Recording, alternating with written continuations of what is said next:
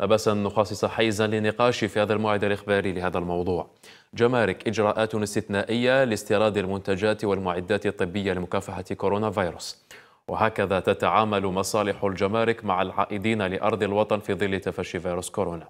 كل هذا أكثر مع ضيفي جمال أبريك مدير العلاقات العامة والإعلام بالمديرية العامة للجمارك. أهلا بك سيدي الكريم. شكرا, شكرا لقبولك الدعوة. شكرا سيدي.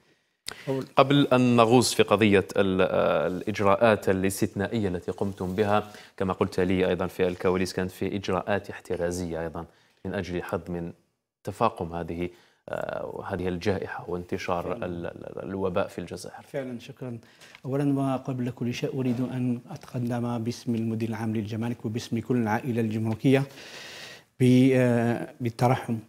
على أرواح المفقودين جراء هذه جائحة كورونا أطلب الله أن يتغمد المفقودين برحمته إن شاء الله وأتقدم كذلك بالتعازي إلى عائلات المفقودين وكذلك ندعو الشفاء الشفاء العاجل إلى كل المصابين بهذه الجائحة الجائحه وان شاء الله ربي يحفظ أولادنا. إن شاء الله. فعلا قامت اداره الجمارك بإجراءات احترازية قبل هذه الإجراءات الاستثنائيه التي وضعناها اليوم دخلت حيز التنفيذ.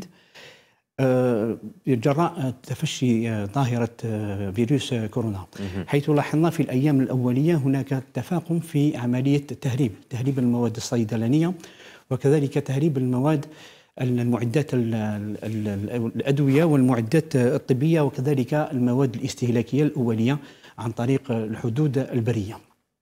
ولهذا قمنا بإعطاء وإسداء تعليمات صارمة إلى كافة الفرق الجمركية عبر الوطن للتصدي لهذه العمليات عملية التهريب خاصة فيما يتعلق بالأدوية والمعدات الطبية والكمامات حيث لاحظنا تصدير تصدير المسافرين وكذلك عن طريق الشحن عن طريق الطائرات لعدد كبير من الكمامات وكذلك لترمومتر يعني نراقبوا بهم الحمى الحمى. درجه الحرارة c'est les capteurs des capteurs thermiques حكمنا تقريبا 1000 1000 capteurs thermiques غير في مطار هواري بومدين مثلا.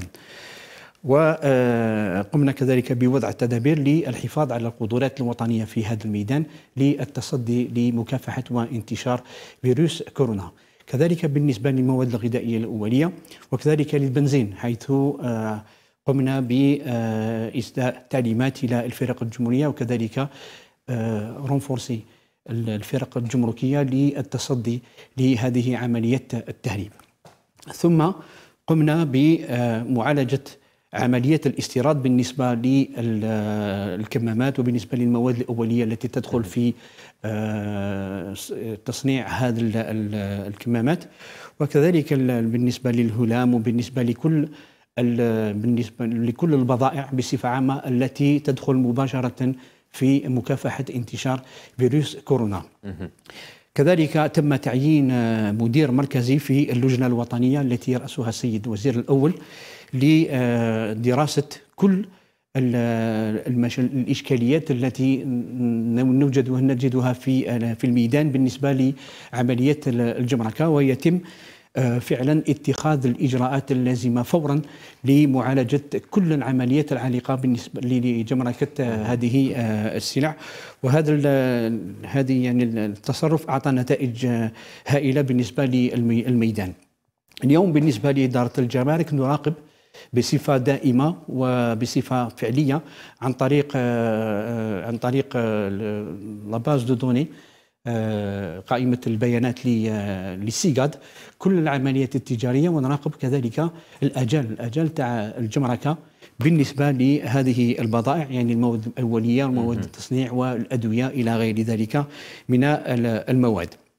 وفعلا كل المشاكل التي نلقاها في الميدان تعالج بصفة يعني فورية.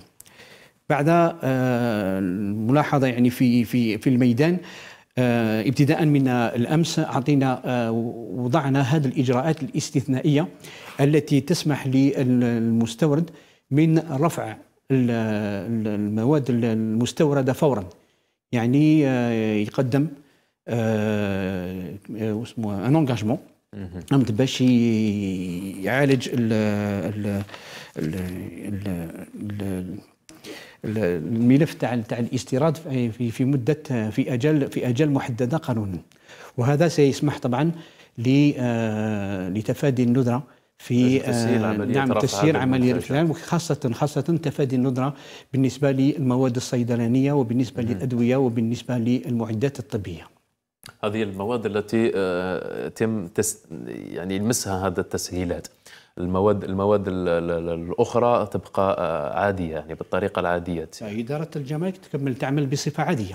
ولكن بالنسبة لهذه المواد التي تدخل مباشرة في محاربة ومكافحة هذا الفيروس إدارة الجمارك اخذت آه، تدابير باش نعملوا 24 ساعة على 24 ساعة وسبعة أيام على سبعة أيام.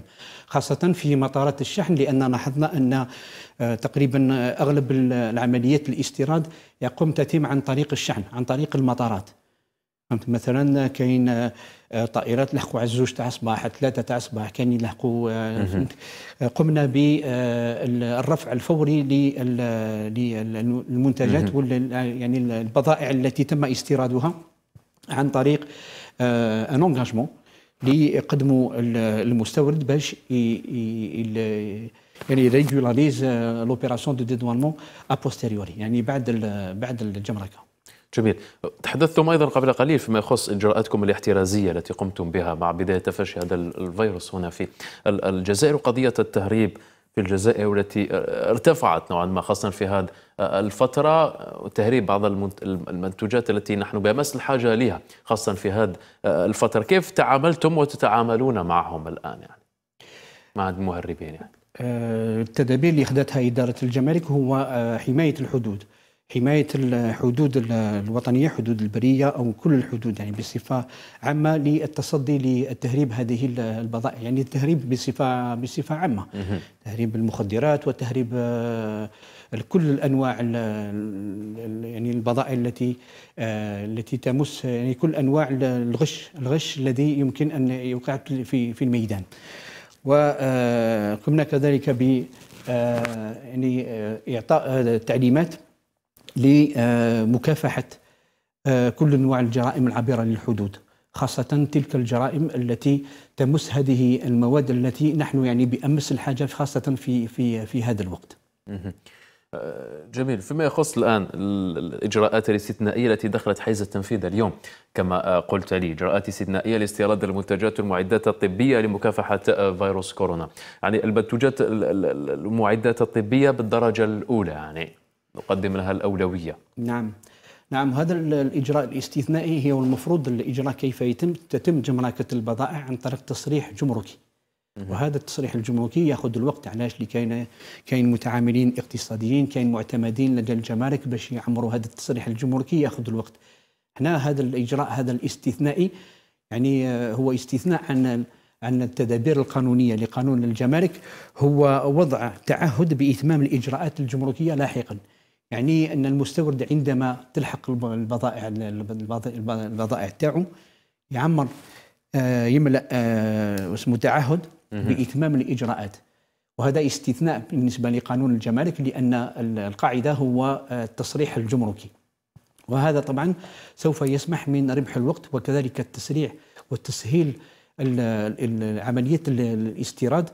نقول يعني بدون دون جمركة. لجمركتها في أجل محددة قانونا بعد أسبوع أو بعد عشرة أيام. عشرة أيام كأقصى حد. هي هي القانون الجمارك هو الذي يحدد الأجل. على المهم أنه لما تدخل البضاعة نسهل عملية خروجها نعم. ونقلها مباشرة إذا كانت إذا كانت بضاعة طبية فإلى المستشفيات نعم. أو الصيدليات إذا كان دواء وحتى المنتوجات الغذائية نعم. يعني آه، تمشي مباشرة إلى الاسواق الجزائريه حتى أنه ما تكونش فيه ندرة خاصة في هذه الفترة. طبعا هي القاعدة هو أن البضائع يتم جمركتها عن طريق إجراءات إدارية مسبقة. وهذه الإجراءات الإدارية المسبقة هي على عاتق وزارات الدوائر الوزاريه مثل وزارة الصحة بالنسبة للمواد الصيدلانيه والمعدات الطبية وكذلك بالنسبة لوزارة التجارة بالنسبة ما يتعلق بالكاليتي اتسيتيرا وكذلك عدة دوائر وزارية أخرى. يعني بنقول أن عملية الجمركة إدارة الجمارك تقوم بمراقبة مراقبة التصريح الجمركي وكل الوثائق المتعلقة بهذه الإجراءات الإدارية المسبقة.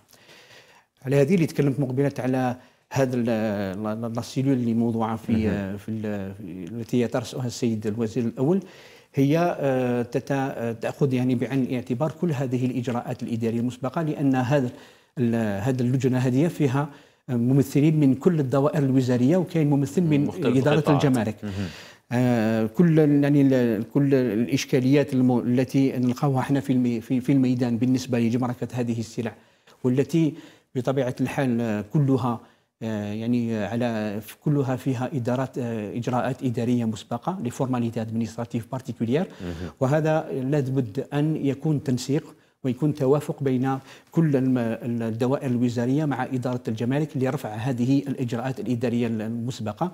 مثلا les autorisations مثلا آه، لتوسكي اوتوريزاسيون اي فورماليتي ادمنستراتيف بارتيكولير بالنسبة لهذه البضائع خاصة المواد الصيدلانية والأدوية وكذلك المعدات الطبية.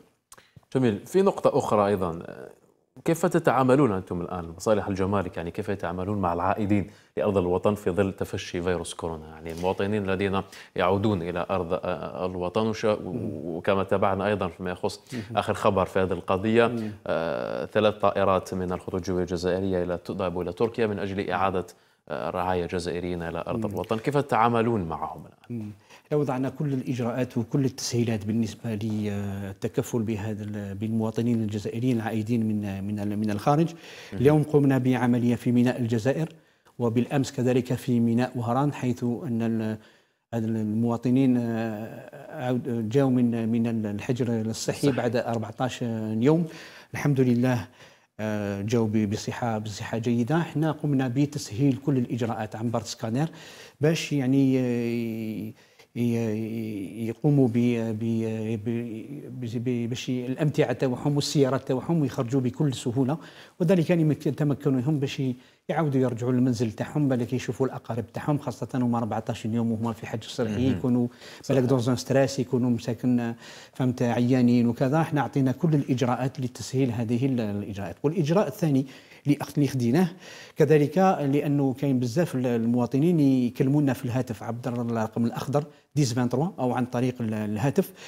آه، يتكلمون عن إشكالية السند العبور تاع تاع السيارات. لأنه كاين بزاف المواطنين دخلوا بالسيارات تاعهم وكاين سند عبور تقدموا إدارة الجمارك عند دخول السيارة. واليوم ما يقدروش يخرجوا السيارات تاعهم لأن ما كاش بواخر.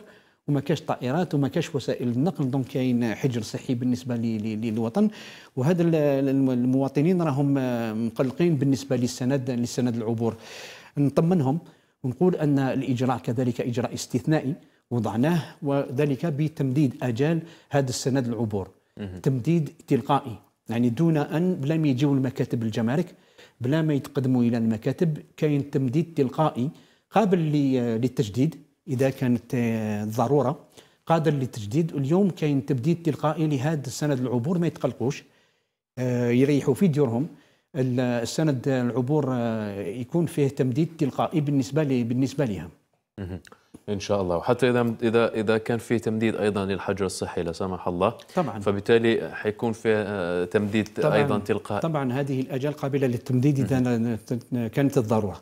ونطلب من نعم. من المواطنين تصفح الموقع الموقع الالكتروني للمديريه العامه للجمارك www.douane.gov.dz يلقاو فيه كل المعلومات وكل الاستعلامات الخاصه بهذه الاجراءات والخاصه م. بالاجراءات الاستثنائيه التي وضعتها اداره الجمارك بالنسبة للمتعاملين الاقتصاديين بالنسبة للوكلاء المعتمدين بالنسبة للمسافرين وبالنسبة لكل مستخدمي إدارة الجمارك. جميل، وبالنسبة للذين سيعودون من من من تركيا ستتعاملون معهم بنفس الطريقة؟ نفس الطريقة طبعا. خدينا كل الإجراءات الاحترازيه باش نسهلوا هذا الإجراءات الجمركية لهذا المسافرين. هما يجوا عيانين يجوا مرضى عندهم كان عندهم الحجر الصحي ويجوا إحنا نزيدوا نقلقوهم بهذه الإجراءات الجمركية. نسهلوا نسهلوا على المواطنين. وإن شاء الله إدارة الجمارك تكون في في في في تكون واقفة. ونكونوا يعني في في في في الانتظار تاعنا إن شاء الله. واملنا أن يرفع الله عنا هذه إن شاء الله. الجائحة إن شاء الله. إن شاء الله يا رب. إن شاء الله يا رب. أستاذ جمال بريكة مدير العلاقات العامة والإعلام بالمديرية العامة للجمارك. شكرا جزيلا لك فيكم. معنا اليوم على كل ما قدمته لنا. بارك الله فيكم. ونتمنى لكم التوفيق إن شاء الله. شكرا.